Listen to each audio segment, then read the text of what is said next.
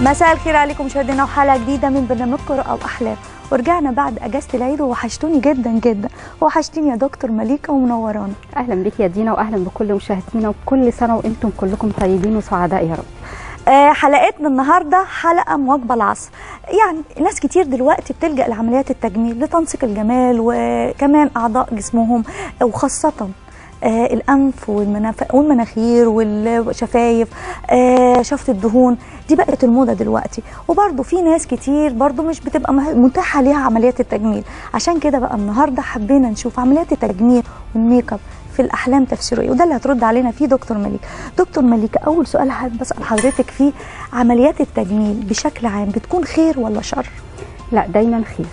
وخصوصا آه آه، بسم الله الرحمن الرحيم. عمليات الرؤى في الرؤية التجميل غير الميك أب علشان ما حدش بس يختلط معاه الأمور. تحديدا إن إحنا بيبقى في تطورات هتحصل في حياتنا هتغير مسار حياتنا تماما أكيد للأفضل بأمر الله تعالى. على حسب برضه طب لو إحنا عملنا عملية تجميل طلع شكلي مش حلو. طبعا لا بيكون المسار اتجاه صعب جدا جدا. شكل مش حلو يا دكتور مم. ولا ممكن يكون آه تشويه؟ يعني مثلا يكون حد عامل المفروض حاجة تبقى شكلها كويس لا يحصل بقى بالعكس تشويه. آه. تشويه للوجه أو المكان. إيه، بصي أنا بقول لك يعني إيه انت عارفة بيبقى تغيير المسار للأسوأ.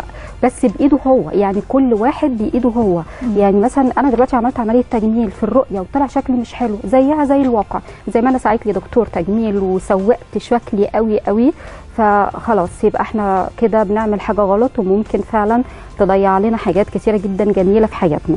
أما لو كانت بقى شكلها جميل واتغيرت للأحسن يبقى إحنا مقبلين على تغيير أحوال للأفضل أكيد بأمر الله.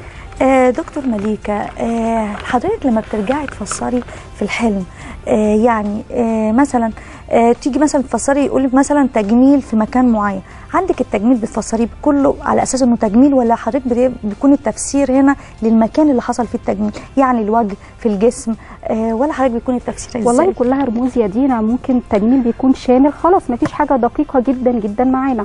أما لو كان آه، ال- الجزء ده يعني حاجة واضحة قوي في المنام خلاص يبقى أنا هاخد الجزء دوت اللي هو مثلا أي حاجة خاصة بمعالم الجسد نفسه فأنا هفسرها على حسب الجزء اللي اتغير. طيب طبعا عالم التجميل ده في الحقيقة كبير جدا. كمان بقى هنرجع آه، في الأحلام. بس طبعا تليفوناتنا بدات